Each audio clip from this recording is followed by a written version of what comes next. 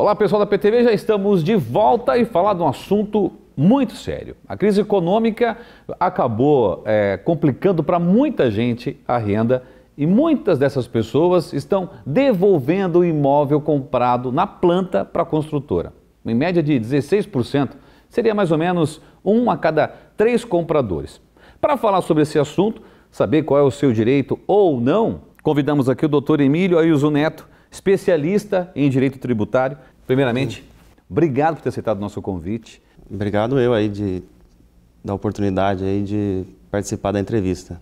Doutor, quais as maiores dificuldades que eh, encontramos que o, que o consumidor encontra na hora de rescindir o contrato com a construtora?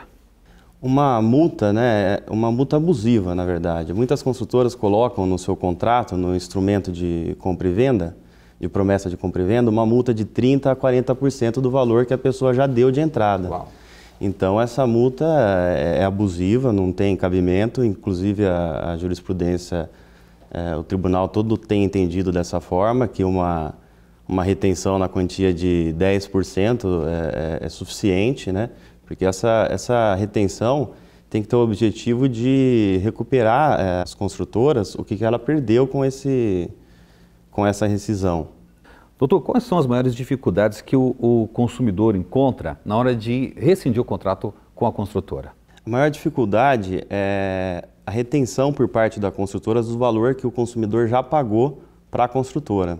Algumas construtoras colocam uma cláusula de retenção, no caso de rescisão, de 30% até 40%. Eu já vi uma cláusula dessa. E essa cláusula é, é considerada abusiva né, pelo Código de Defesa do Consumidor e muita gente tem corrido ao judiciário para ter essa cláusula nula e ter uma, uma, uma cláusula mais coerente com a realidade do consumidor. O que eu vejo bastante o tribunal é, decidindo é 10% do valor que o consumidor já pagou, que seria justo, porque é o custo que a, que a construtora teve com essa rescisão. Os clientes que procuram o senhor, na maioria, eles desistem por quais motivos? Seria bancar um aluguel e, e, a compra desse novo imóvel, um, um, um, outro imóvel que ele acabou comprando e aquele que está na planta não saiu ainda. Quais são as maiores procuras? Recentemente teve bastante atraso de entrega de imóvel. Né? O mercado imobiliário, é, algum tempo atrás, aqueceu. Muitas construtoras é, começaram a soltar bastantes empreendimentos imobiliários e não deram conta de entregar. Quando há atraso na entrega do imóvel, isso daí já está tranquilo, tem até uma, uma, súmula no STJ, é a súmula 543, então tem que ser rescindido totalmente o valor que foi pago. E a devolução e A devolução totalmente, porque daí foi culpa da, da, da, própria construtora que atrasou a entrega e não cumpriu o contrato. Tá? Fora essa, essa questão do, desse atraso, teve essa crise econômica que a gente está atualmente passando, muita gente perdendo emprego, muita gente diminuindo a renda familiar e não consegue mais é, esse financiamento. Oh, doutora, a gente percebe que a Caixa Econômica Federal, ela financiava até um pouco mais uh, o imóvel na planta, o imóvel novo, até para incentivar a construtora e tudo mais.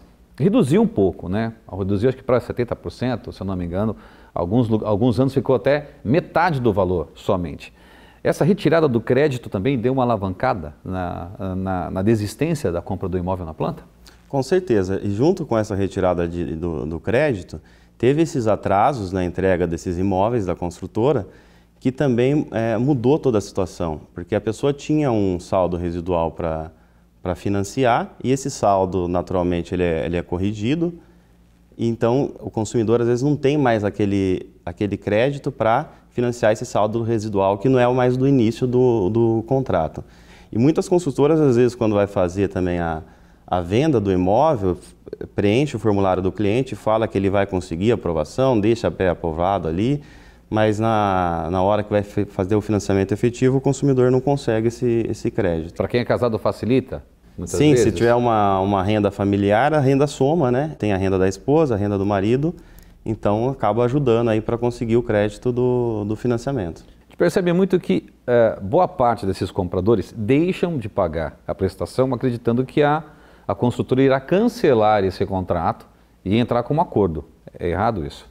É errado isso, né? Assim que tiver dificuldade para fazer o pagamento, a melhor opção seria entrar em contato com a construtora e tentar fazer um acordo já. Se a construtora não estiver é, cobrando uma multa excessiva, tem que realmente procurar o judiciário aí para ter esse, esse valor reparado. E aí tem a, a gente tem bastante a jurisprudência, que a construtora pode reter até 10% do valor já pago e o restante devolver com a devida correção que está no, no, contrato ali, no instrumento de promessa e compra e venda. Como que esse, esse consumidor pode fazer, atuar para se garantir, doutor? Sempre consultar né, um, um advogado é, especializado na área para estar tá lendo ali o contrato e, e ajudando o, o consumidor a, a tomar algumas decisões.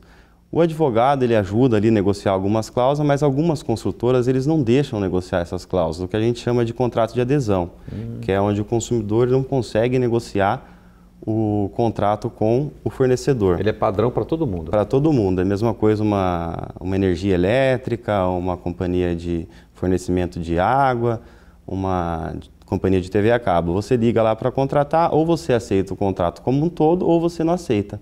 Então, quando tem esse contrato de adesão, tem algumas cláusulas que podem se tornar nula a favor do consumidor e outras relativizada.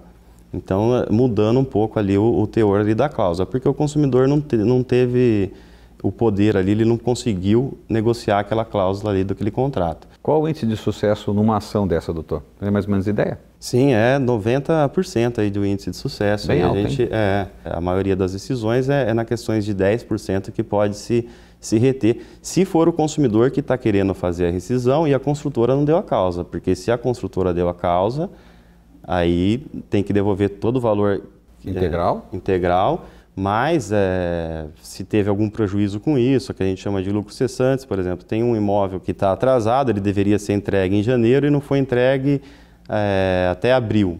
Então a pessoa tem quatro meses aí que ele poderia estar tá recebendo aluguel com esse imóvel.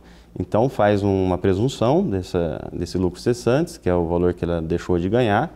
Normalmente tem saído em 0,5% a 0,8% e dano a favor do consumidor, além de danos morais, né? Tem a questão da corretagem também, que muitas construtoras, quando vai vender um imóvel, ela tenta repassar para o consumidor essa comissão que ela paga de corretagem para os vendedores, né? Então pedem cheque separado para a questão da corretagem para o consumidor, o consumidor faz um pagamento separado, ou ou um boleto, e o restante faz o contrato com a, com a construtora. Isso daí ó, todo o tribunal está tá entendendo de forma indevida. Agora, recentemente, um ministro do STJ pediu a suspensão, né, através de uma medida cautelar, ele pediu a suspensão desses processos que trata sobre a corretagem, para ele ter um posicionamento e depois uniformizar ali essas decisões, ou pelo menos dar um norte ali para os juízes seguirem a mesma linha ali de raciocínio do STJ.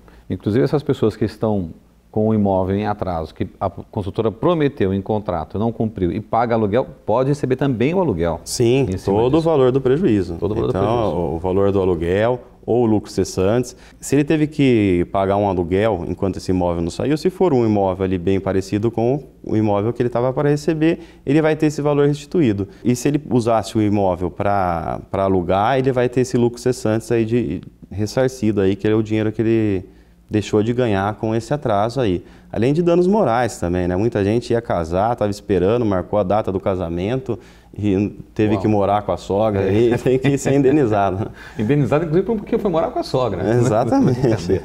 Doutor, para quem está passando por essa dificuldade, o escritório do senhor e o contato para a gente poder para as pessoas é, procurar? Eu vou deixar o meu e-mail. Tá, aí, se a pessoa tiver alguma dúvida quanto a esse assunto, ela pode entrar em contato, quiser entrar em contato comigo, é emílio, hum? Arroba iuso, é a y u s o ponto adv.br. Ok. Doutor, obrigado pelo bate-papo, foi esclarecedor. Para você de casa que tem alguma dúvida, o e-mail do doutor está aí no seu vídeo para que você possa tirar outras dúvidas, tá bom? A gente continua ainda com a PTV, vamos para um breve intervalo, voltamos já, não sai daí. Obrigado mais uma vez, doutor. Obrigado.